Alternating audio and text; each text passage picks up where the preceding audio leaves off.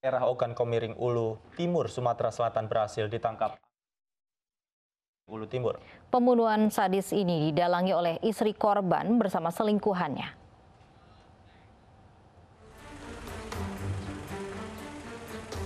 Haryono dan Darni ditangkap tim kepolisian Ogan Komering Ulu Timur, Sumatera Selatan atas kasus pembunuhan Sopii.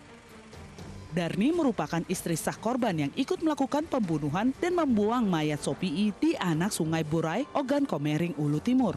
Darni yang telah lama menjalin asmara dengan pelaku Haryono takut sang suami tahu. Akhirnya mereka pun sepakat menghabisi nyawa korban saat melintasi di jembatan Burai, Semedawai.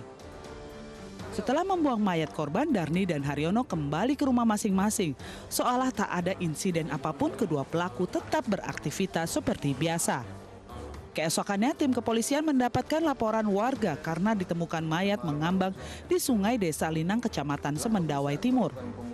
Polisi pun bergerak cepat dan langsung melakukan olah TKP serta melakukan wawancara pada beberapa saksi. Tak beberapa lama istri korban dan selingkuhannya pun berhasil ditangkap.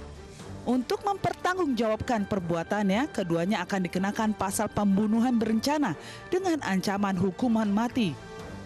Dari Martapura, Kabupaten Ogan Komering Ulur Timur, Sumatera Selatan, Teddy Hendrawan, iNews melaporkan.